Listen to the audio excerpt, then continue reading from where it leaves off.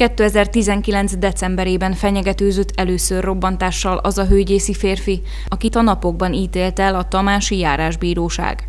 A segélyhívó vonalat felhívva trágárszavak kíséretében közölte, hogy felrobbantja a helyi orvosi rendelőt és az egész rendőrőrsöt mindent.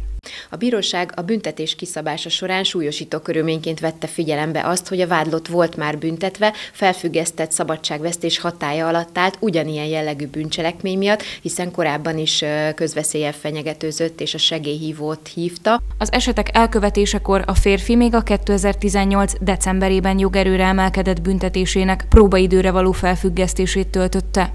2020 májusában és júliusában újra megismétlődtek a segélyhívó munkatársait, a hügyészi egészségügyi dolgozókat, valamint a helyi rendvédelmi szervet fenyegető telefonhívások.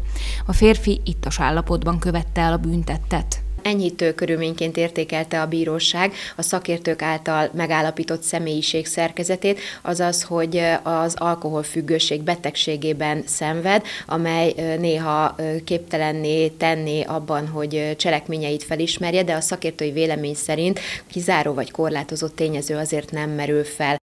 A Tamási Járásbíróság a maximális tartamú, azaz 90 napos elzárásra ítélte a férfit, és kötelezte a bűnügyi költségek megtérítésére is. A vádlott nem fogadta el az ítéletet, így megfellebbezte azt.